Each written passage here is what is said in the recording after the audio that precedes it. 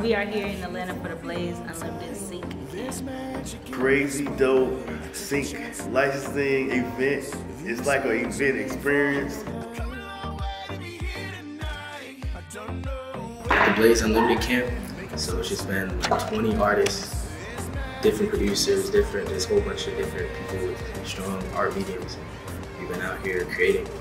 We out here working, we creating some vibes, and you know what I'm saying, we done got synced up with a bunch of amazing, creative individuals, and we're creating a melting pot of just fire original music.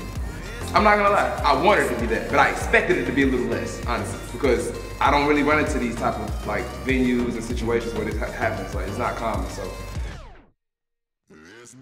We are creating art. We're creating sync music, commercial music, uh, to put it out into the world. We're creating a library of thousands of songs um, for you guys to put it on TV, movies, and all types of stuff. I've never actually participated in something that was so elite as far as the level of talent, the level of organization by the people who organized the event.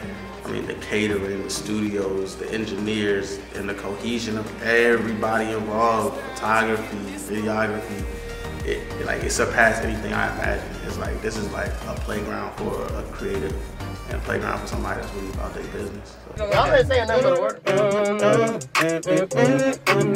Like, I'm thinking like I'm thinking like a, like a like a hangover type of night. You know, like yeah. the movie Hangover. It's the it's the creation itself.